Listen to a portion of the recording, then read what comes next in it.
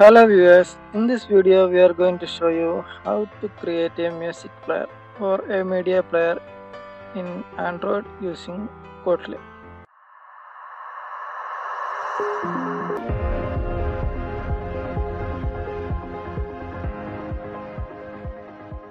Let's create a new project. Choose empty activity, then type your project name. I choose music player demo. Then choose your language to Kotlin and click finish. Then uh, click on the drawable folder and create a new vector asset. So we need in the music player so we need some pause button, play button like this. So just type play and here you can choose one of the play button. Click ok. If you want to rename you can rename the button here. I'm leaving it as it is. Click next then finish. So one one more. So we need pause button also. Repeat the same this time for pause button. Choose one pause button. Click next and finish this will download the button XML file in your drawable directory. Now let's design the main activity layout, remove the text field and change this to relative layout. Then basically we need one button, play button. Let's create one button, then change the button to image button. Okay.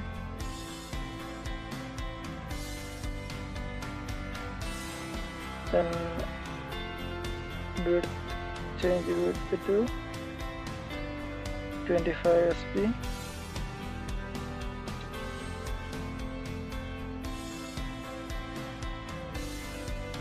then give one id give any name like btn play button play anything. And source will be our play button just to be important.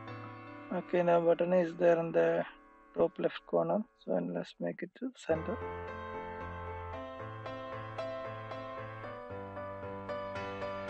So leave that to wrap content. Let's go to the main activity.kotlin file let's create one variable for uh, a music player let's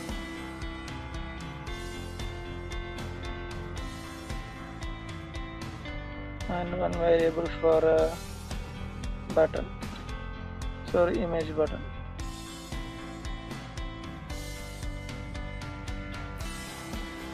Now let's continue our coding. Btn play is equal to find view by id r dot id dot btn play that's what we name for the image button. Then btn player dot set. One click listener. Choose one click listener. Here when we click the button what should happen? It should pause. Or it should play. Okay so when we click the button music player will start. Then what will be in the music player? So music player mp is equal to media player dot create this.